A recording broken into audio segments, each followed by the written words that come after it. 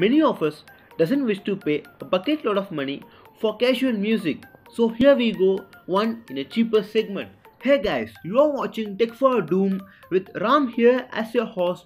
Now let's check how does it fares.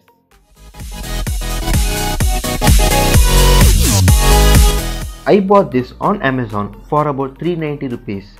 The pricing may vary a bit, so you can find a better deal if possible. Moving to the sound quality, it has a very good volume. It has good unpunchier bass, but the vocals are a bit on the average side.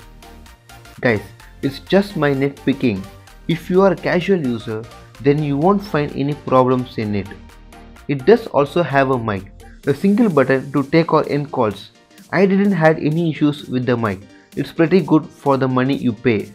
The button can also be used to play or pause music on a single tap and double tapping it moves to next song and triple tapping it moves to the previous song. For sound quality, I will rate it as 8 bar 10. Talking about its build, it's good to know that it has a 3.5 mm gold plated pin, but the wires are on the flimsier side. It can be easily damaged. Comfortness is also on the average side. I couldn't wear it continuously for over a couple of hours so if I rate it only for its build, I must rate it as 6 out of 10. So what's the verdict? If you are on a tight budget and you can handle it carefully, then you can definitely go and check it out. So that's it guys.